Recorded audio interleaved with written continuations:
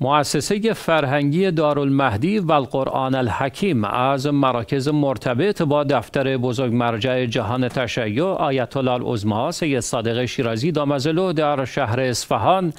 در طول ماه مبارک رمضان برنامه ها و فعالیت های پرشور قرآنی برگزار کرد. بر همین اساس کلاس های قرآنی برای برادران و خواهران برگزار گردید و تعداد زیادی از علاقمندان در این کلاس ها شرکت کردند. گفته می شود در مجموع 17 کلاس برای آقایان در زمینه روخانی مقدماتی، روخانی، روانخانی، تجوید تکمیلی، صوت و لحن در رده های سنی مختلف برگزار گردید.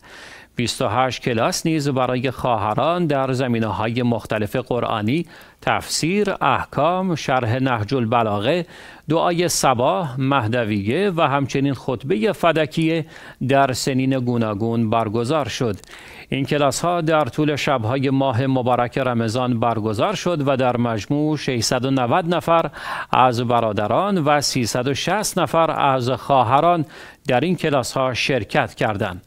لازم به ذکر است در پایان ماه مبارک رمضان و در شب عید فطر از کلیه افراد شرکت کننده در این دوره های قرآنی با هدایای نفیس تقدیر می شود. شاین ذکر است تاریخ تأسیس فعالیت های این مؤسسه فرهنگی به توصیه مرجع راحل آیت الله العظما سید محمد شیرازی قدس رو در سال 1375 شمسی بوده و همکنون با ارشادات بزرگ مرجع جهان تشیع آیت الله العظما سید صادق شیرازی دامزلو به فعالیت‌های خود ادامه می‌دهد و موجب تأسیس جلسات قرآنی زیادی در شهر اصفهان و شهرستان‌های وابسته شده است.